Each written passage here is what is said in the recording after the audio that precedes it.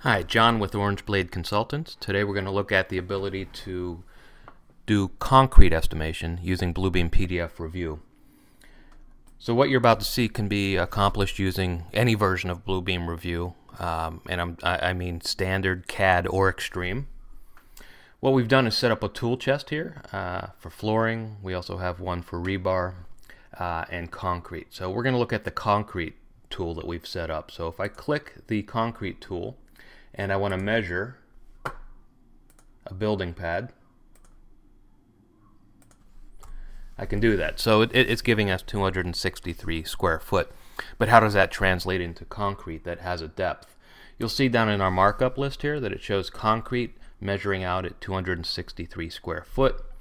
Um, I have set up a 4 inch pad and that gives us uh, just over two and a half uh, yards of concrete and it applies our cost. So we can continue here by measuring the other building pads and you'll see that it will keep adding on to our markup list or our estimation.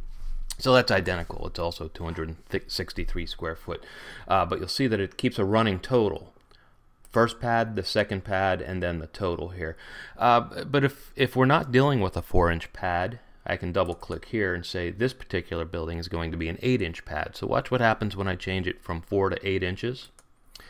The uh, number of yards changes and so does my cost. So I can continue uh, marking up and measuring and associating the appropriate uh, uh depth of concrete. But when I'm finished, what I can do is click my summary button and click PDF summary. So what this does is give us a um, uh, somewhat of a report that's appended to our plan set. And we're looking at it right now. So those two pads that I just measured are showing up here. It shows us the total area that we've measured, the total yards that we've measured, and our total cost. And if I want to know where exactly this particular markup or measurement or, or estimation is, I can just click it and it takes us right to it. So that comes in handy if we're dealing with a multi-page PDF. So if this was 50 or 100 pages worth of uh, measurements and estimating, I don't have to go looking for that particular markup or that measurement. I can just click it in my summary and it takes it right to us. So I'll leave you with uh, how we incorporate the depths and the cost. So if I hover here and it says manage columns, and go to the second tab, which is custom columns. A, a little bit of math that I incorporated into uh, the, the concrete measurements. So concrete depth, if I double click on that, it'll show me all of the depths. Okay, and the uh, multiplier.